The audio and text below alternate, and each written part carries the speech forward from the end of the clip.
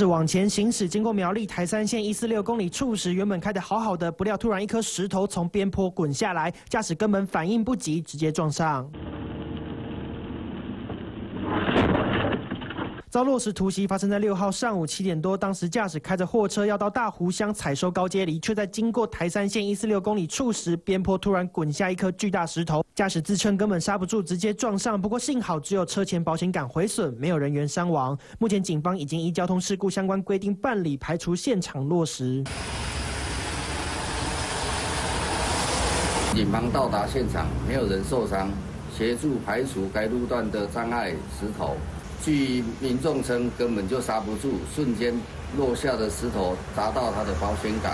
不过，受到卢碧台风外围环流影响，苗栗山区降下豪大雨，造成部分路段有土石坍方问题，包含石潭乡台三线一百一十八公里处、大湖乡苗六十二线与苗六十二支二线口、泰安乡苗六十二线五点九公里处，都在近期曾有落石滚下。警方再次呼吁民众经过这些路段要多加注意。